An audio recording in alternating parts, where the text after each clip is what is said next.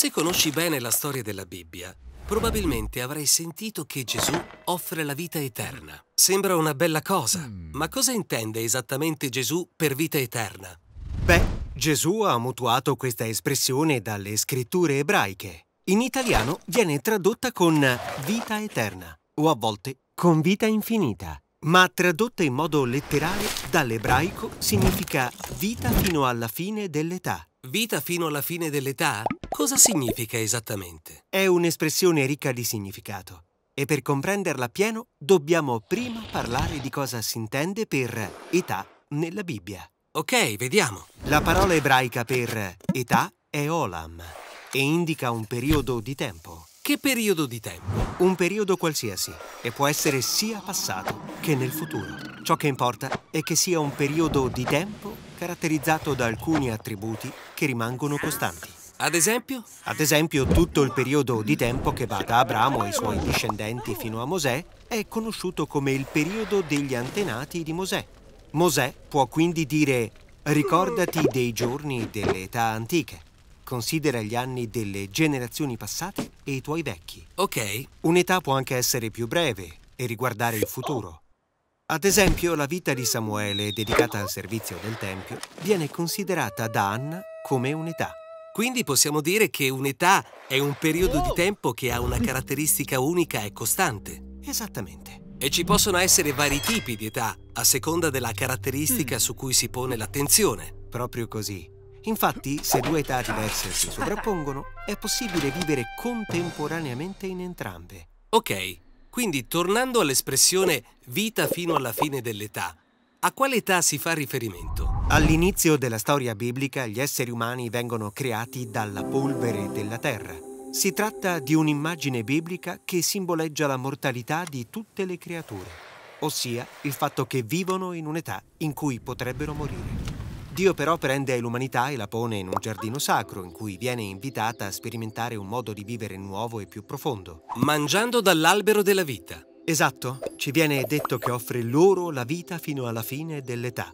Una vita dal potenziale infinito in quanto connessa alla vita divina di Dio. Ma la storia ha una svolta inaspettata e invece di accettare la vita fino alla fine dell'età, Adamo ed Eva mangiano dall'albero della conoscenza del bene e del male.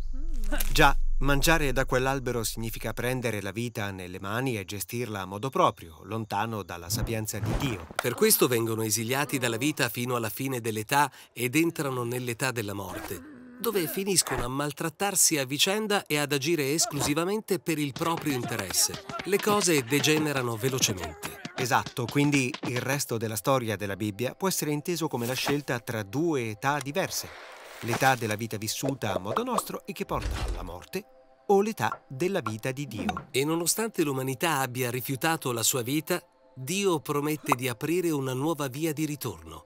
Esattamente. Ed è quella promessa che poi ci conduce alla storia di Gesù. Egli ci viene presentato come Dio fattosi uomo. Quindi in lui sono compresenti entrambe le età vive allo stesso tempo nell'età della mortalità e della morte e nell'età della vita eterna. Quindi può offrire alle persone l'accesso alla vita fino alla fine dell'età. Esatto, ed è ciò che Gesù dice nel Vangelo secondo Giovanni.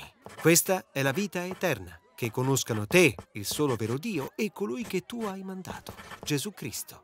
Tuttavia, così come aveva rifiutato la vita di Dio nel giardino, l'umanità rifiutò anche Gesù, condannandolo a morte. Ma la vita di Dio è più potente della morte. Gesù è risuscitato dai morti così da poter offrire la vita di Dio agli altri. Il Vangelo secondo Giovanni infatti dice affinché chiunque crede in Lui non perisca, ma abbia vita eterna. Questa è la vita fino alla fine dell'età. Figo! La maggior parte delle persone pensa che la vita eterna sia qualcosa che accade dopo la morte. Ma nella Bibbia l'accesso a questa età è qualcosa che si può avere fin da subito. Sì, ricordati infatti che Gesù è il punto d'incontro tra l'età della vita di Dio e l'età della morte.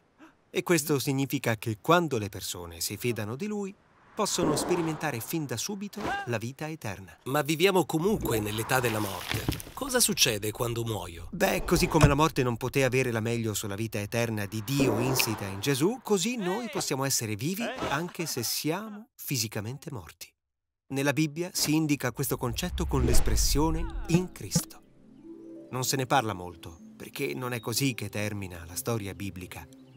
La Bibbia si concentra sul momento in cui l'età della vita prevale completamente sull'età della morte. E coloro che vivono in Cristo vengono riportati in vita per condividere insieme la vita eterna di Dio. Esattamente, perché una vita che è completamente connessa alla vita e all'amore eterni di Dio è una vita che non avrà mai fine.